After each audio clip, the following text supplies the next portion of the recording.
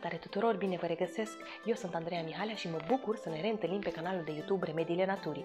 Astăzi vreau să vă prezint un remediu super interesant și super eficient pe bază de hrean pentru calmarea durerilor reumatice, după care vă voi lăsa să vă delectați împreună cu un desert pe bază de dovleac copt cu miere și scorțișoară, foarte sănătos, foarte delicios și foarte ușor de făcut. Așa că rămâneți în continuare alături de noi! Rețeta a fost atestată într-un document din anul 1780 aflat la Academia Română cu mențiunea că este o rețetă deosebit de eficientă pentru bolile reumatice.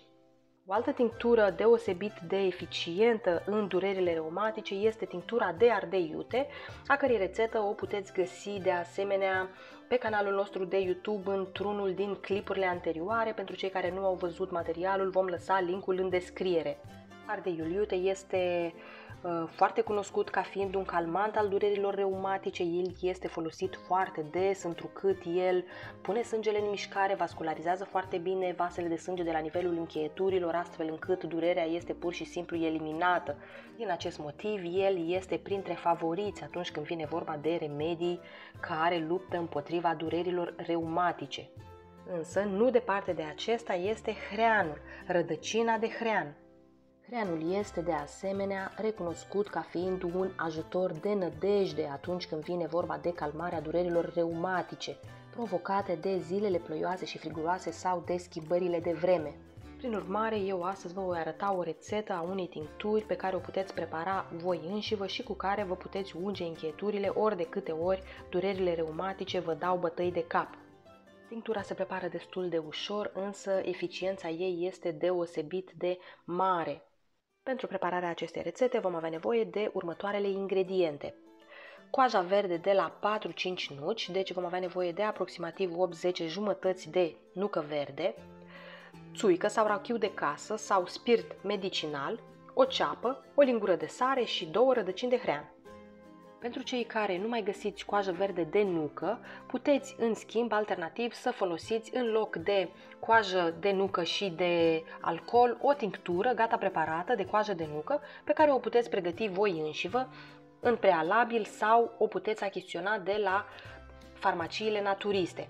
Ia priviți, eu am aici tinctură de școajă de nucă verde gata preparată. Așa arată, este închisă la culoare, aproape neagră. Eu am preparat tinctură din coajă verde de nuci în urmă cu câteva săptămâni. Dacă voi nu găsiți nici coajă verde de nucă, nici nu ați reușit să pregătiți tinctură în prealabil, puteți achiziționa de la farmaciile naturiste. Cu siguranță ea nu va fi la fel de concentrată precum tinctura pe care ați putea o voi face la voi acasă, însă în lipsă de altceva este și aceasta o opțiune. În rețeta de astăzi eu voi folosi cojile verzi, ceea ce vă recomand și vouă în cazul în care aveți această posibilitate. Între timp, eu am curățat ceapa și hreanul, le-am uh, tăiat în bucățele mai mici, după care voi adăuga rând pe rând toate ingredientele în bolul pentru blender. Practic, rețeta este destul de simplă, toate ingredientele se mărunțesc și se incorporează împreună cu alcoolul până când acesta le acoperă din abundență.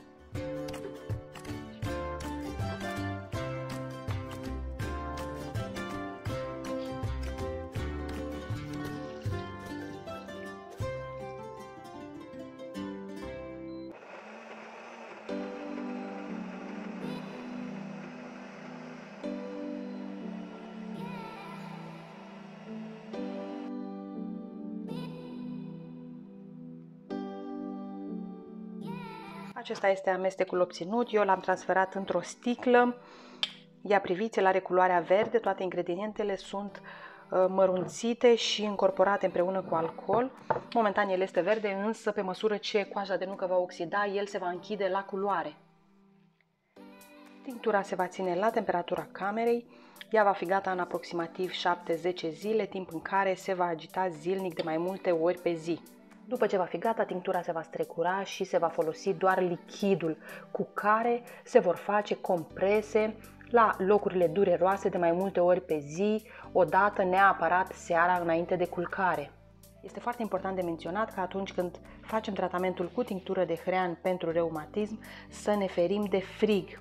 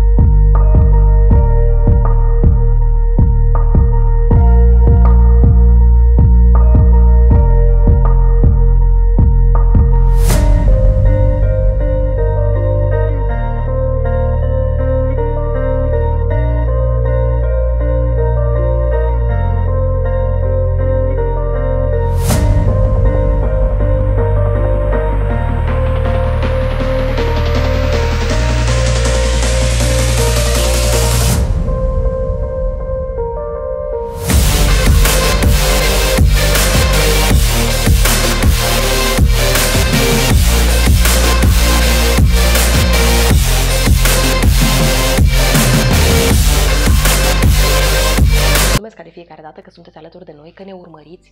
Dacă v-a plăcut materialul nostru de astăzi, puteți să dați un like, un share, ar însemna foarte mult pentru noi și am aprecia.